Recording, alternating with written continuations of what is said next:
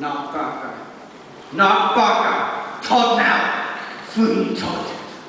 So change. What do they do to you down there in bloody Australia or wherever? Where is my wife? Where is Lucy? Poisoned herself. Arsenic from the apothecary on the corner. I tried to stop her, but she wouldn't listen to me. And my daughter.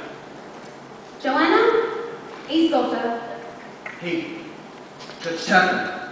Even he had a conscience tucked away, I suppose. Adopted her like his own. You could say it was good luck for her, almost. Fifteen years. Sweating in the living hell on a trumped up charge. Fifteen years. Dreaming that one day I might come home to a loving wife and child. Let them clank in their boots, Judge Turpin and the Beadle, for their hour has come. You're going to get her. You, a bleeding little nobody of a runaway convict.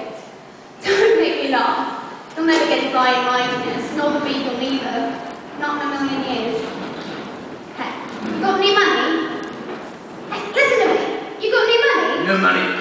Then are you going to live even? I'll live. Sweating in the sewers or in a plague hospital. I'll live and I'll have them. You poor thing. You whole thing.